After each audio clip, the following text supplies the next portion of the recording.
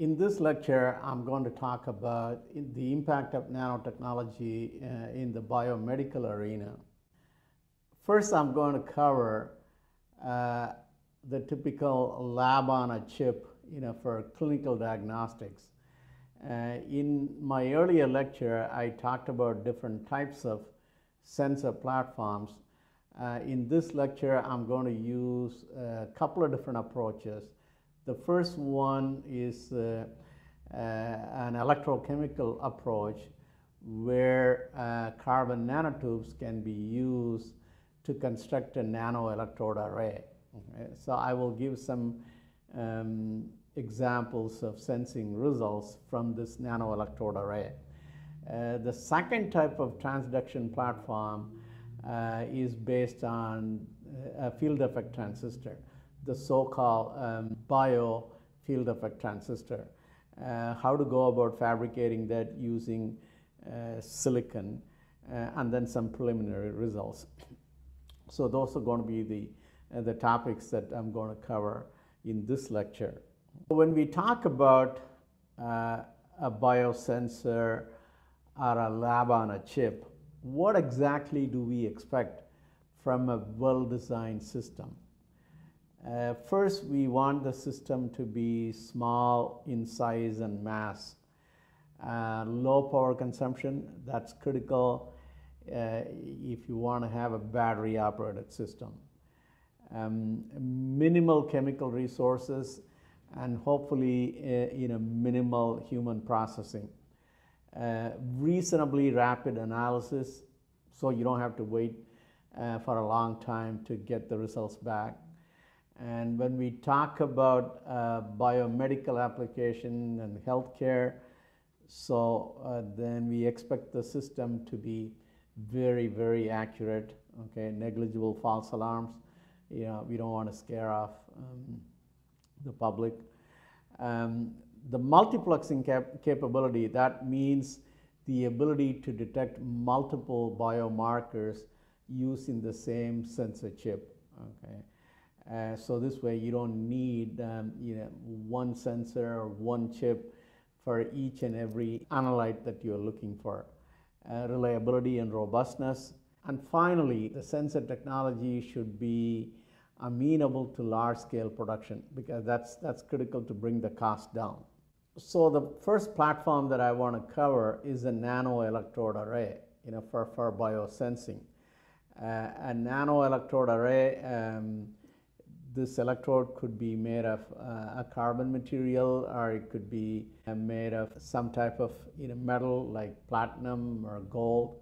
The idea here is to attach a probe you know, to the electrode. Okay, the probe could be a DNA probe, the probe could be a protein probe, or it could be an antibody. Uh, then the, when the target hybridizes or interacts with the probe, then that interaction um, you know, could result in some kind of an electrochemical signal, which we can detect through a variety of methods. Uh, in my earlier lecture, I talked about potentiometry and amperometry and, and impedance spectroscopy. So these are all different types of uh, electrochemical approaches. So we can use one of them, uh, you know, for, for signal transduction. So the first thing we have to do is to justify the need for nanoelectrodes. The reason is a nanoelectrode can provide a dramatic improvement in signal detection over uh, the conventional uh, micro or macro electrodes. Because when you use a micro or a large scale electrode, you know, there is a substantial difference in size between the electrode and the biomolecule that you're uh, you know looking to detect okay? So that size difference is tremendous. Um, the background noise is proportional to the electrode surface area. So if you have a large electrode and if you're looking for a tiny molecule uh, so the large electrode surface area can result in a big background noise. You also would need a significant number of molecules uh, in order to get you know, meaningful signal over the noise. On the other hand, you take the same uh, big electrode and now you divide that into multiple nano electrodes. It's like in a nano electrode array. You know, this nano electrode could be constructed using carbon nanotubes. Um, the size of the carbon nanotube now becomes comparable you know, to the size of the molecule that you're looking to detect. And so that dramatically reduces the background noise. The other thing also is um, you can use the multiple electrodes to magnify the signal itself uh, and also to develop the you know, desired redundancy you know, for statistical you know, reliability. So what type of nanotube that you want to use? Uh, single wall nanotube, people have used them you know, for biosensing. Uh, if you have ever seen pictures of single wall carbon nanotubes, you would notice that they look like you know, spaghetti on a plate. Uh, they are kind of hard to work with in terms of um, uh, attaching the probe molecules uh, on a specific location and then you know, trying to do signal detection after hybridization. Multi-wall carbon nanotubes, they grow like towers. In electrochemistry, it is important to have a sufficient distance between two neighboring electrodes because when you have a single electrode, it has a diffusion layer surrounding that electrode. Think of it as a radial diffusion layer. Now, if one electrode is very close to the next electrode, then the radial diffusion layer of these two electrodes will overlap with each other. Then your electrode array system becomes automatically a micro or macro electrode which we want to avoid eh, you know, to begin with anyway. So if you have a 15 nanometer diameter electrode, a simple back of the envelope calculation tells you that the neighboring electrode should be at least 1.2 to 1.5 micron away in order to avoid the overlap of the two radial diffusion layers. In other words, we want to accomplish individual well separated you know, nano electrodes. To accomplish that, one can think of using you know, carbon nanofibers. Uh, these carbon nanofibers are multi-wall carbon nanotubes, except they are individual freestanding nanostructures. Uh, how to grow them, I, I, you know, I will come to that in a minute. So, so these carbon nanofibers you know, they present one choice, you know, to construct this individual nano electrode. The other choice could be vertical silicon nanowires or vertical zinc oxide nanowires. Any one of those possibilities you can exploit in order to create a nano electrode array. Now let me focus on how to create a nano electrode array using carbon nanofiber. We start out with the silicon wafer, and this silicon wafer could be a you know, 100 millimeter wafer, 150 millimeter wafer, 200 millimeter wafer. To begin with, you deposit a metal film. This metal film could be tungsten, tantalum, titanium, uh, you know, one of those typically used in microelectronics fabrication. And the next step is that you put uh, the catalyst metal layer. The catalyst metal layer could be nickel or uh, cobalt or iron. Again, uh, the thickness of the, uh, that layer you know, could be just you know, few nanometers, and this layer could be simply sputtered uh, using a sputtering machine.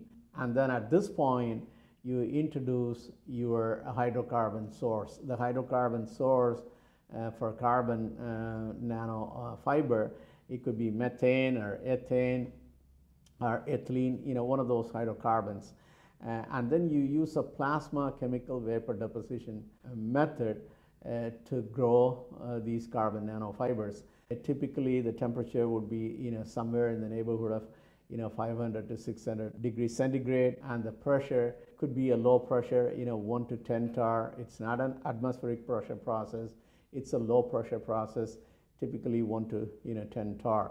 So under these conditions, the plasma chemical vapor deposition allows you to grow the carbon nanofibers as individual freestanding nanostructures. You know, once you finish growing these carbon nanofibers, you know, the height of these carbon nanofibers could be four to five microns. Typically, this could be grown in, you know, 10 to 20 minutes.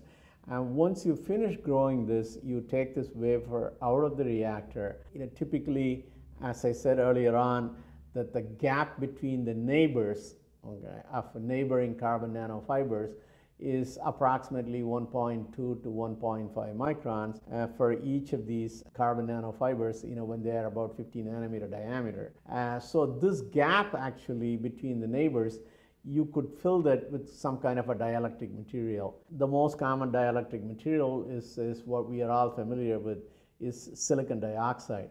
So you can fill the gap with silicon dioxide using a thermal chemical vapor deposition process.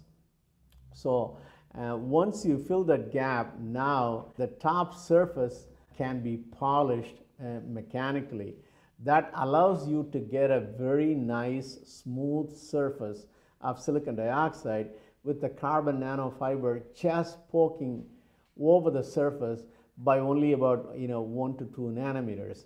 If you look at the scanning electron microscope images that I have on the slide, they display silicon uh, dioxide surface with the white dots. The white dots represent the carbon nanofibers, you know, poking out of the silicon dioxide. So this completes the process of making the nanoelectrode array. All of those white dots are your carbon nanofiber and now they are ready for business. You can bring your probe molecule. The probe molecule could be a DNA or it could be RNA or it could be antibody or it could be aptamer. So whatever the probe molecule, you can readily attach you know, to the tip of the carbon nanofiber and that completes you know, the sensor fabrication. And now when you bring the target, blood, serum, urine, water, whatever it is, you know, that contains the, the target analyte, the probe and the target, when they interact, now you can get an electrochemical, you know, signal. I will give you some examples next. Heart disease has you know several important you know biomarkers. You know three of the key biomarkers are troponin myoglobin and cardiac you know reactive protein. So here i'm showing uh, the detection of you know troponin using the carbon nanofiber array that i showed uh, earlier on uh, if you look at these plots presents you know, the so-called cyclovoltammetry, you know, current versus potential. The bottom set of curves represent uh, impedance in a spectroscopy. Let me use the bottom curve to explain what is going on. The curve that you see at the bottom, uh, you know, that is the impedance spectra for a bare electrode. Before, um, you know, the bare electrode that you saw a couple of slides ago on the scanning electron microscope. Now when you bring your troponin antibody and then attach to all the exposed carbon nanofibers, the impedance essentially has increased. And then all the curves you know represent you know the impedance that you measure for various concentrations of you know troponin antigen in your blood sample. So the smallest concentration uh, shown here uh, is 0.25 nanogram per ml in fact the number is uh, is lower than you know what the medical community is looking for so this presents an example uh, that we can you know, detect a cardiac biomarker using this nanoelectrode array. The second type of uh, transduction platform uh, is a biological field effect transistor. Field effect transistor, as you know, is the heart and soul of uh, all our computer chips and the modern electronics. Uh, so the difference between the uh, FET that you see in the computer chip uh, and the one that is used for you know, biomedical applications is the so-called gate region is replaced you know, with the liquid gate. Okay? A typical field effect transistor is a three-terminal uh, uh, device. Uh, there is a source and then there is a drain and then uh, the, there is a gate in the middle which regulates you know, the flow of electrons between the source and the drain. That's what we have in modern electronics integrated circuits. This gate region of the FET now is replaced um, uh, with the liquid gate you know, for biomedical uh, applications. So uh, now that allows us to use the mainstream mm, you know, semiconductor fabrication or the so-called CMOS technology. Uh, so this makes uh, the resulting uh, bio-FET unaffordable because we know the integrated circuit manufacturing has brought you know the price of computers and cell phones and everything you know dramatically uh, on a decreasing fashion. Uh, so using this um, mainstream CMOS technology would allow us to uh, develop a technology that is affordable you know for biomedical applications. Uh, so we can also get you know direct electrical output you know just like we get in our uh, semiconductor chips and we can get an integrated signal processing. And there is also no need to do any type of you know labeling, you know, which is common in many of the optical-based um, biosensors.